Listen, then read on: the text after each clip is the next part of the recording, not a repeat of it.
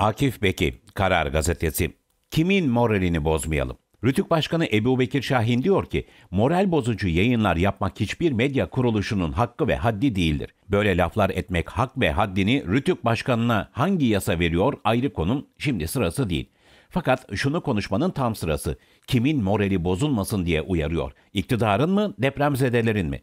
Depremzedede bozulacak moral kaldığını düşünmüyordur umarım. İkinci güne girdik hala şehir merkezlerinde ulaşılmayan enkaz, duyulmayan imdat çığlıkları, gidilmeyen deprem bölgeleri var. Bu sorunları söylemek kimin moralini bozar? Sorunların üstünü örsek, yokmuş gibi yapsak bazılarının morali belki kurtulur ama depremzedelerin canını da kurtarır mı? Enkaz başında kurtarma ekibi bekleyenlerin feryatlarını yayınlamaktan kim niye rahatsız olur? Anlatsınlar bilelim. Aç açıkta kalanlardan bahsetmek, yardım çağırmak kime neden dokunsun?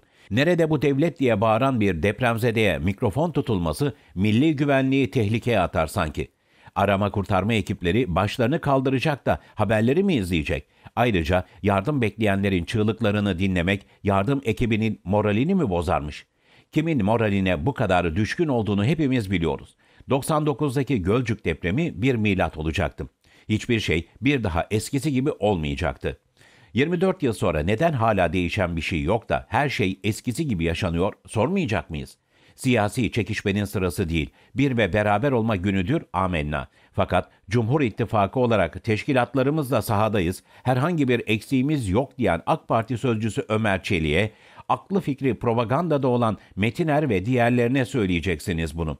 Yardımın nerede kaldığını sormak siyasi istismar değildir eksikleri, yetersizlikleri, organizasyon bozuklarını görmek istemiyorlar diye göstermeyecek miyiz? İktidarı mazeretçileri ağız açtırmıyor. Eksikliklerle, yetersizliklerle mücadele edeceklerine bunların söylenmesiyle mücadele ediyorlar.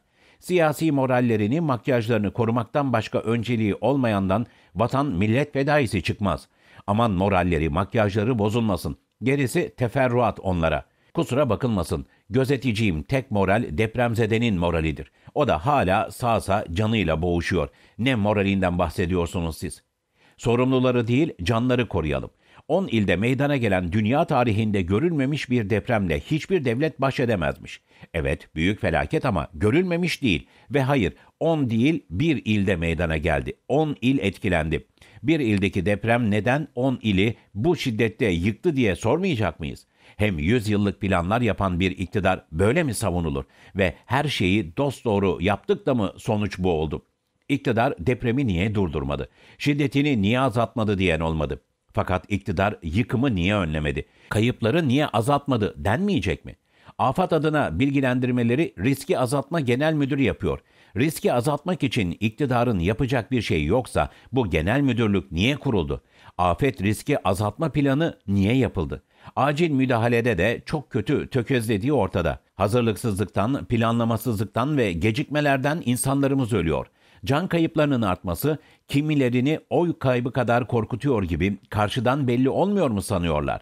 Acil yardım ve kurtarma ekipleri saatler içinde nasıl organize edilemedi?